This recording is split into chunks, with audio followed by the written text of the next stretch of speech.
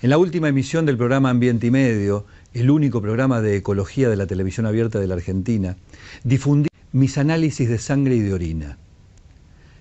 Me sumé así a la campaña Mala Sangre de la Fundación BIOS, que pretende establecer si los 250 millones de litros de agrotóxicos que se vuelcan todos los años sobre los campos son, como presumimos y, y tememos, una amenaza para nuestra salud o son inocuos, como pretenden aquellos que suponen que una agricultura completa y absolutamente lejana a la naturaleza es algo que no nos afecta.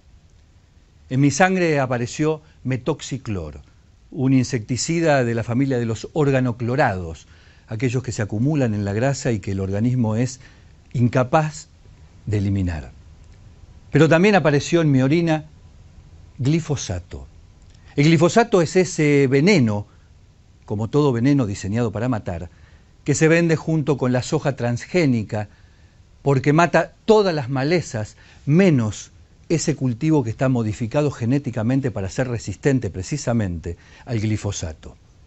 En la Argentina en solamente una década se multiplicó por 10 la cantidad de glifosato que se echa sobre los campos, porque las malezas se hacen resistentes a él. La Organización Mundial de la Salud acaba de declarar al glifosato potencialmente cancerígeno. El estado de California, en los Estados Unidos, acaba de señalar en estos días que según sus estudios académicos el glifosato es cancerígeno y ordenó que todos los envases en los que se vende glifosato tengan una leyenda, una etiqueta que señale su condición de cancerígeno.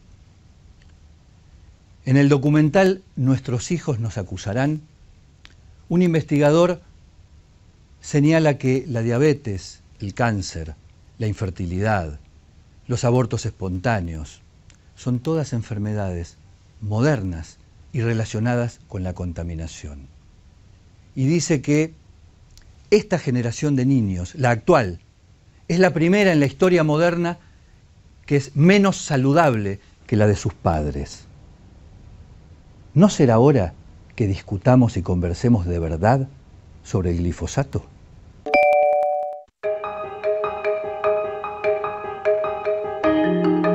Hace mucho tiempo, para mejorar los rendimientos de sus campos, el hombre encontró ayuda en la química, en los fertilizantes, en los insecticidas y en otros compuestos que sirven para recuperar nutrientes y expulsan plagas.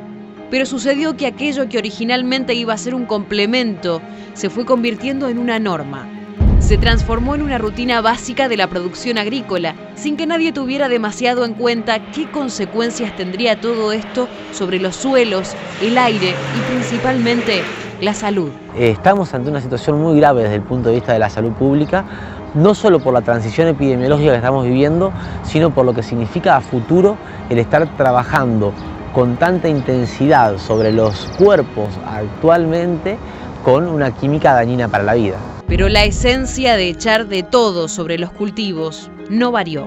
Y un día se descubrió que no solo se estaba envenenando la tierra, las aguas también. Todos los sistemas ambientales están conectados de una u otra manera y eso implica que cuando llueve el agua se mueve por sobre la superficie de los campos y alimenta los arroyos. Es típica después de una lluvia que uno ve que los arroyos corren más fuerte, tienen mayor color y eso se debe a que son aguas que conectaron los campos con el arroyo. La llegada de los transgénicos, cultivos genéticamente preparados para ser resistentes a los pesticidas, hizo el resto. Ahora sí que se podía echar todo tipo de venenos sin que el cultivo deseado no se viese afectado. Empezamos a encontrar que una fuerte presencia del hipotiroidismo como segunda enfermedad prevalente, o sea, la segunda enfermedad crónica más frecuente en estas regiones, y hemos visto cómo han empezado a aparecer a, medida que avanzamos en el tiempo enfermedades que antes no tenían tanta presencia, como los abortos espontáneos, las malformaciones congénitas y enfermedades oncológicas. Nadie niega que la fumigación a mansalva ha traído consecuencias gravísimas para la Argentina, tanto que nuestro país tuvo una participación activa en La Haya, en lo que fue el primer juicio internacional contra Monsanto por ecocidio. Es una figura que intenta expresar el daño sistemático, programado y persistente sobre los ciclos que permiten la cadena de la vida. El glifosato, ese veneno menos agresivo que Monsanto creó para proteger las semillas genéticamente modificadas, se distribuyó como agua. Y a medida que las plagas y malezas se hacían resistentes a ese veneno, se fueron aplicando más dosis. Tenemos que saber dónde estamos parados y si hay cuerpos de agua que están muy afectados, hay que diseñar políticas productivas específicas para ese lugar para mitigar, darle tiempo a que el ambiente recupere. Y si hay lugares que están prístinos, diseñar políticas para conservarlos prístinos. Hoy vivimos en un país sobre cuyo suelo se arrojan 250 millones de litros de agrotóxicos por año.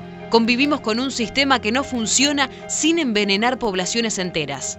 ¿Será posible producir a escala sin semejante volumen de toxicidad?